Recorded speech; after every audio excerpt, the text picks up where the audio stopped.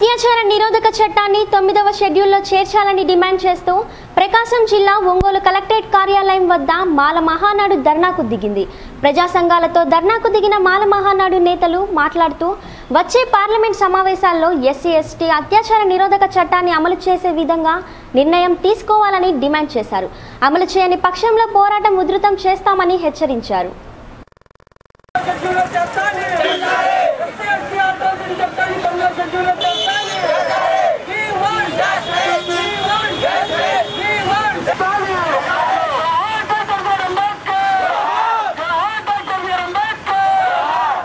గత మార్చి నెలలో ఇరవై తేదీన మన దేశంలో ఉన్నటువంటి అత్యున్నతమైన న్యాయస్థానమైన సుప్రీంకోర్టు రెండవ పెంచి ఈ ఎస్సీ ఎస్టీ అత్యాచార నిరోధ చట్టాన్ని బలహీనపరుస్తున్నట్లు ఒక తీర్పునివ్వడం జరిగింది.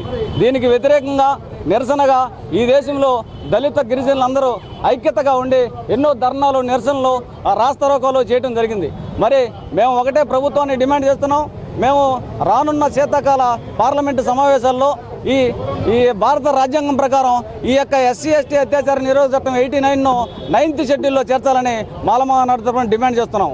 మరి అంతేకాకుండా మీ యొక్క భారత రాజ్యాంగంలో మన ఆ రోజు అంబేద్కర్ గారు ఆశించినటువంటి రాజకీయ ఆర్థిక సామాజిక న్యాయాన్ని తొంగలో దొక్కి మరి ఈరోజు ఈ దేశంలో అన్ని ప్రైవేట్ సంస్థలలో ఈ రిజర్వేషన్లలో లేకుండా చేసి ప్రైవేట్ సంస్థలు చేసి రిజర్వేషన్లను కేవలము ఆ రాజ్యాంగానికి పరిమితం చేస్తున్నాడు.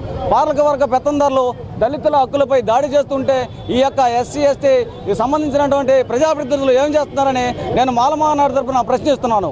మరి అంతేకాకుండా ఈ యొక్క ఎస్సీ ఎస్టీ అత్యాచార నిరోధ చట్టం ఎయిటీ నైన్ను పరిరక్షించాలని నైన్త్ షెడ్యూల్లో చేర్చాలని దీన్ని ఈ ఈ కేసు ప్రకారం ఈ ఎయిటీ నైన్ ప్రకారం ఆ బుక్ అయిన కేసుల్లో ఫాస్ట్ ట్రాక్ కోర్టులను ఏర్పాటు చేసి వెంటనే పరిష్కరించే విధంగా నేను చేయాలని డిమాండ్